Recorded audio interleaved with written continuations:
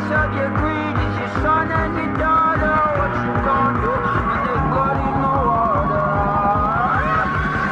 When they blood in